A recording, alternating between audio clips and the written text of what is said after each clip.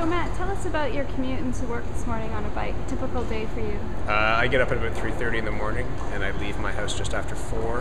Um, and there's not a lot of action on the roads beyond me and uh, wildlife, which is great. The only thing you really have to take care of is uh, not hitting a raccoon that's zipping across in front of you. Um, it takes me about 25 minutes to get to work.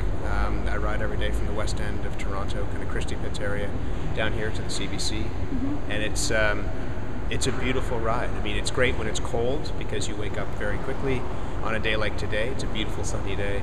Um, the sky is this amazing color of purple as you're riding in. You see sort of the city coming awake. You see the life of the city kind of uh, filling the streets, and it's uh, it's for me the best way to get to work. Uh, and by the time I get here and I'm on the radio an hour and a bit later, um, I can tell if I've ridden to work or if it's been miserable and I've had to take a taxi. I feel like a different person if I'm uh, on the air having ridden it. Good morning.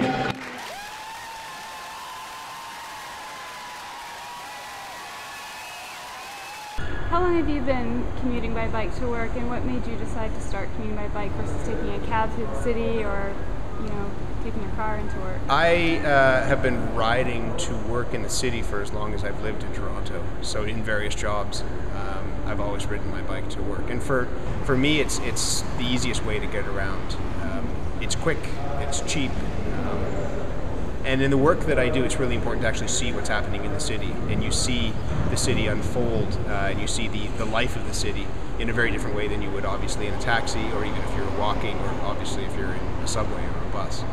I can see things out of the corner of my eye as I'm riding along that might be just uh, a casual kind of encounter of something, but actually when you turn around and come back, it's a really interesting development in the city. It's kids who are doing something that you wouldn't expect them to do. It's parents who are doing something. It's people who are interacting in a way that you wouldn't see otherwise if you're just blowing along in a car.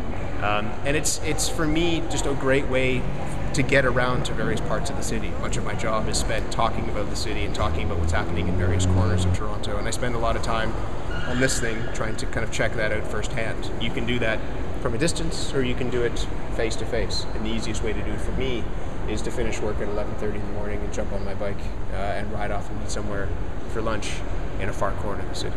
And do you find people recognize you when you're on your way to work in the morning or after work in the early afternoon? Yeah, in the morning there's not really anybody who's out on the streets beyond me and the guys who are delivering newspapers. But uh, in the afternoon, for sure. I mean, I meet a lot of people who are um, walking around, who are driving, who are also on their bikes, uh, who listen to the program, who've clocked me from seeing my face on the side of a van or something like that.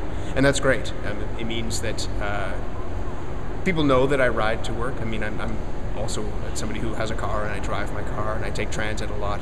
Uh, but my primary mode of transportation, particularly in the middle of the week, is on my bike. And people know that and know that that's a part of how I see the city. And, and it's nice to be kind of recognized for that.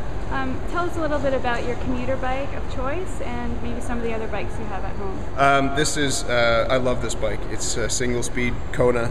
Um, it's not particularly light, but it is very quick and responsive and a little dirty right now.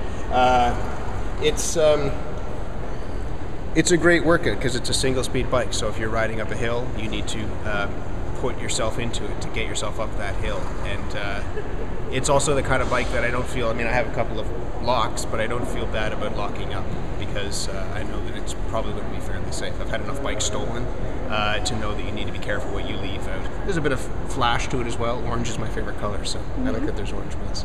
Um, I have a road bike as well that I ride uh, in the middle of the day, specialized. That's fantastic, and that's again a completely different purpose. That's more to clear my head um, and just feel uh, like I'm kind of just out exercising, but also just kind of plugging back myself back into what the city actually is and the hum of the city. And I ride it through ravines and up trails, down along the water, on long rides out of the city.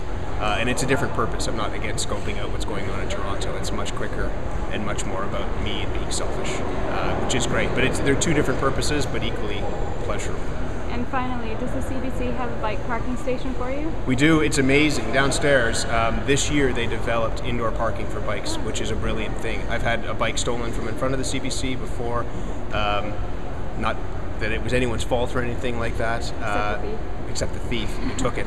Um, but it's great that there's space down there, that they've actually made space, and that uh, if you ride in on a wet day, you can leave your bike there and it'll dry off. Or if you're riding home in the rain or the snow, uh, your bike is there waiting warm for you, and it's safe. It's it's a wonderful space, and again, I think CBC, like a lot of other um, companies in this area, you have all these new buildings that are going up, recognize that people get around in different ways. So it's not just driving, um, and that they've actually taken space out from cars for bikes is a big step and says a lot about how people get around in a modern Toronto. So it's it's it's wonderful for me. I love it. Great. Thank you very much. Thank you.